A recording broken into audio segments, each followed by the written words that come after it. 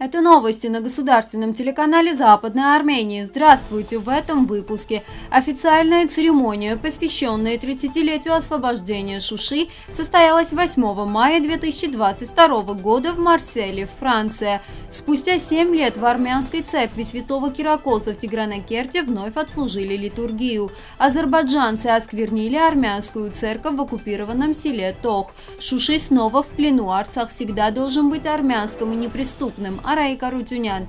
В армянской епархии Бразилии состоялся епархиальный форум «Поселение Западной Армении. Муж». В Женеве открылась площадь Армения.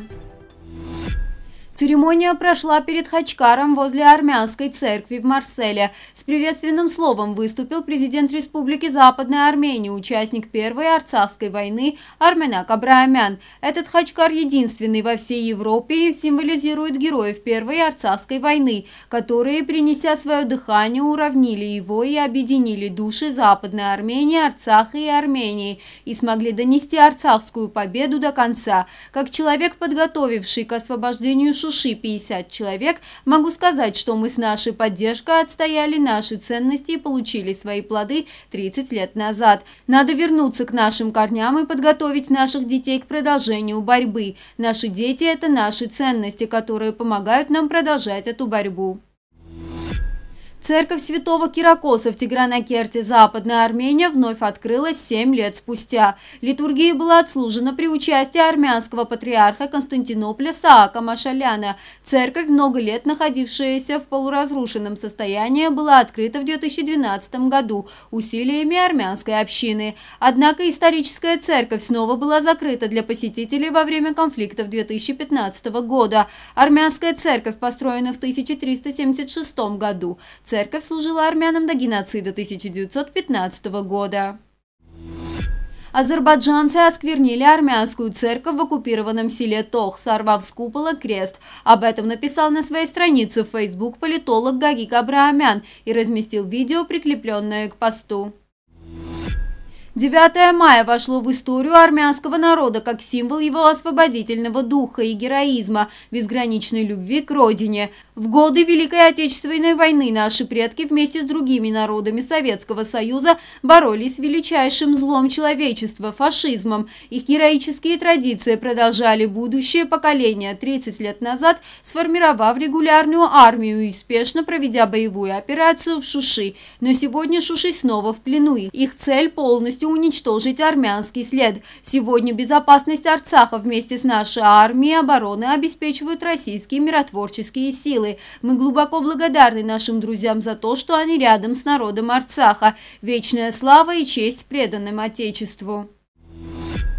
Всемирный союз молодежи Армянской церкви сообщает, что 6 мая в Сан-Паулу состоялась епархальный форум с участием молодежи Армянской епархии Бразилии. С приветственной речью выступил глава епархии его пресвятейшества епископ Нарек Берберян. Прочитано послание его святейшества Горогина II, верховного патриарха и католикоса всех армян. Форум завершился встречей с большой группой молодежи в местном армянском клубе. На месте был избран молодежный совет Совет армянской епархии Бразилии в составе семи молодых людей и наблюдательный комитет в составе трех человек. Участникам форума были вручены сертификаты армянские кресты, освященные в Первопрестоле и иконы.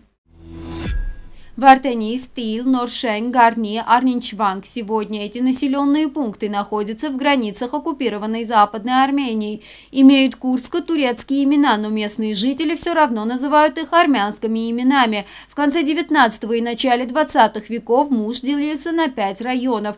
Муж всегда был мощным историческим и культурным центром в истории Армении. До геноцида армян в Муше было 299 церквей, 94 монастыря и 135 школ школ. В 1914 году в Муше проживало более 70 тысяч армян. Древний армянский город Таром был центром раннего христианства в Западной Армении. После геноцида армянского населения в 1915 году была разрушена и архитектура города.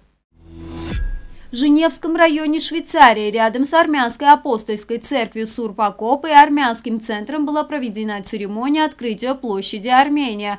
Об этом Facebook сообщило посольство Армении в Швейцарии. На мероприятии выступили посол Армении в Швейцарии Андроник Ованесян, Мэр Гиль Лявогель, президент фонда «Святой Григорий Просветитель» Даниэл Папазян, посол Ванисян, в частности, поблагодарил мэра и членов городского совета, а также представителей армянской общины, благодаря усилиям которых была открыта площадь, говорится в сообщении.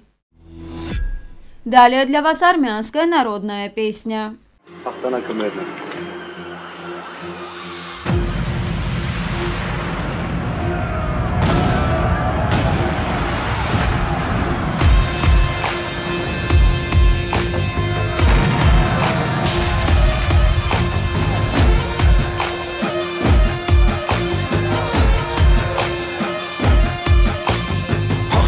Հաղթանակը շունչա մստվալ Սիկտակ հաչավ ազգս միացրալ Լերների դրսան է կնկրալ Թորջոնից նորից ազատագրալ Այն հայաշուշին միշտ պահալ Полная версия доступна на официальном YouTube-канале Западной Армении. На этом я с вами прощаюсь. Оставайтесь с миром.